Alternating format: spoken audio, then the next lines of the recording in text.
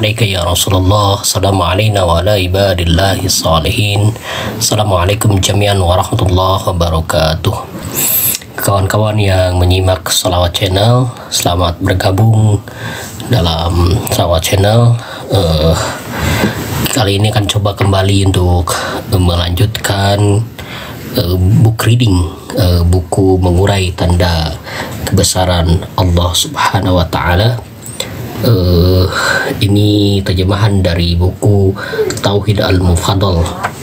Uraian buku Tauhid Al-Mufadal ini dihubungkan kepada Imam Ja'far As-Sadiq alaihissalam sudah pernah dibacakan terkait sampai pada halaman 14 tidak tumbuhnya bulu pada wajah dan sebabnya. Sekarang kita akan memasuki pada bab eh, pada nomor halaman 15 eh, jika bayi dilahirkan berpengetahuan. Nah ini jika bayi dilahirkan berpengetahuan.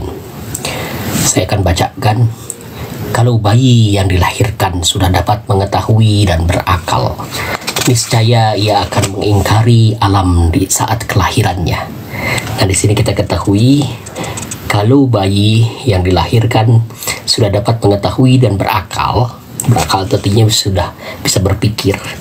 Misalnya ia akan mengingkari alam di saat kelahirannya. Anda mengerti apa maksudnya di sini? Ia akan selalu kebingungan karena sesat akal ketika melihat apa yang belum pernah diketahuinya. Datang kepadanya apa yang belum pernah ia lihat seperti rupa-rupa benda alam binatang dan burung dan sebagainya yang dilihatnya setiap saat. Perhatikanlah hal itu bahwa orang yang terpenjara di suatu negeri sementara ia berakal maka ia seperti orang yang kebingungan. Ia tidak segera belajar bicara dan menerima etika seperti anak kecil yang belum berakal. Kemudian, kalau ia lahir dalam keadaan berakal, maka ia akan mendapati kehinaan apabila melihat dirinya dikandung, disusui, dan dibalut dengan kain di dalam buayan. Ia memerlukan hal itu semua karena tubuhnya yang masih halus dan lunak ketika dilahirkan.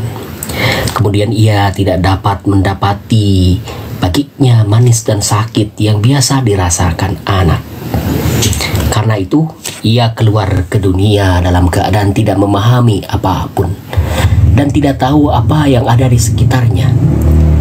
Ia mengenali sesuatu dengan otak yang lemah dan pengetahuan yang kurang. Kemudian, sedikit demi sedikit pengetahuannya terus bertambah hingga menyenangi sesuatu, membiasakannya dan melakukannya terus-menerus. Maka dari sebatas memperhatikan, kebingungan berubah menjadi menggunakan dan mendorongnya untuk hidup dengan akal dan pikirannya. Dan untuk mengambil pelajaran, ketaatan, kelalaian, dan kemaksiatan. Di dalam hal ini pun terdapat aspek lain. Kalaulah anak dilahirkan dengan akal yang sempurna, maka hilanglah manisnya mengasuh. Orang tua tidak wajib mengajarkan kepada anak-anaknya untuk membalas kebaikan dan kasih sayang anak kepada mereka ketika mereka membutuhkannya. Nah, di sini kita mengetahui bahwa kalau saja anak itu langsung lahir dengan uh, apa fungsi akalnya berfungsi, maka uh, seorang ibu, seorang orang tua tidak lagi punya kewajiban untuk uh, mengajari, membimbing anak karena karena uh, akalnya itu baru berfungsi ketika nanti uh, dia mulai tumbuh kembang. Terima kasih uh, Leni sudah bergabung. Kemudian anak-anak tidak mengasihi orang tua dan orang tua pun tidak menyayangi anak-anaknya karena anak-anak tidak memerlukan asuhan dan perlindungan orang tuanya maka ketika dilahirkan anak terpisah dari orang tuanya sehingga seseorang tidak lagi mengenal ibu dan bapaknya tidak ada lagi yang dapat mencegah pernikahannya kepada ibu saudara perempuan dan mahramnya jika mereka tidak saling mengenali. Sedikitnya saja dari hal itu adalah keburukan. Bahkan lebih buruk dan lebih keji akibatnya jika anak dilahirkan dari perut ibunya dalam keadaan berakal. Ia akan melihat apa yang tidak halal baginya dan tidak baik untuk dilihat. Tidakkah engkau lihat bagaimana setiap ciptaan senantiasa diciptakan untuk tujuan kebaikan dan lepas dari kesalahan yang kecil maupun yang besar? Di akhir ini kita ketahui bahwa uh, Tauhid al-Mufadol di dalam ini yang berasal dari lisannya Imam Ja'far al-Sadiq menyampaikan bahwa uh, setiap ciptaan senantiasa diciptakan untuk tujuan kebaikan. Jadi kita diciptakan manusia, jin, hewan, tumbuhan, segala sesuatu yang ada di semesta ini ketika diciptakan itu sebetulnya adalah ada tujuan yaitu untuk kebaikan lepas dari kesalahan yang kecil maupun yang besar pasti ada tujuannya kalau kita mau meneliti mengkaji pasti ada maksud Kenapa Allah Ta'ala menciptakan diri kita? Kenapa Allah Ta'ala menciptakan hewan? Kenapa Allah Ta'ala menciptakan tumbuhan? Kenapa Allah Ta'ala menciptakan 12 bulan yang saling terus berputar gitu? Kenapa Tuhan menciptakan komar? Maksudnya bulan. Kenapa Tuhan menciptakan syahrun?